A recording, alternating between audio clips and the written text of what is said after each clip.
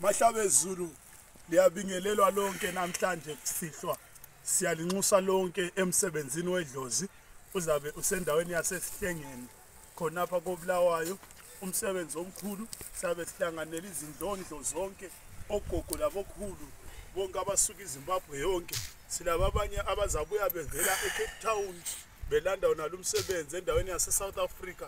Liyanxuswa lonke emsebenzini omkhulu. Uzaqala mhla ka-4 august. Mhla ka-4 august siyaphela mhla ka-10 august.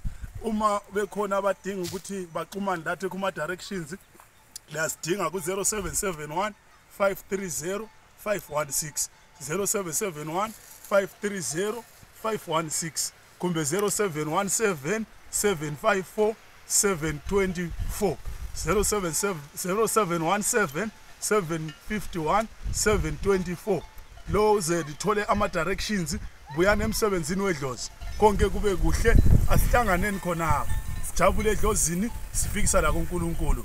Kube kuhle konke. Siyabonga.